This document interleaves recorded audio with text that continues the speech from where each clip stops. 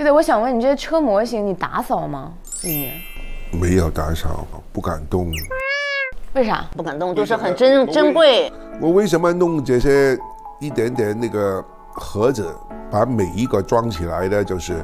第一就是怕它封尘。俗话说得好，穷玩车，富玩表。但是宋云飞的爸爸玩的车，那可不是一般人能玩得起的。收藏了一整面墙的绝版赛车模型，每一个都专门用透明盒子装起来防尘，平时基本上不会轻易动的，连宋云飞都小心翼翼的不敢动。想来也明白这一墙的赛车模型价值不菲呀。而且宋爸爸不仅喜欢收藏赛车模型，他还很喜欢自己动手做。赛车模型并不是很大，里面的配件有些小的看不清，但是宋爸爸依旧坚持着自己的爱好，对这一墙的模型。付出了很多精力，这是用钱也买不到的东西。而且宋爸爸的赛车模型也是按照年份排列的，其中最老的赛车模型是一九五零年的，连宋云飞动这些模型的时候都得戴上手套。这模型有多珍贵，就不言而喻了吧。不少网友看后直言，果然是贫穷限制想象呀！没想到宋云飞爸爸的爱好竟然这么烧钱。关注我，关注我，关注我。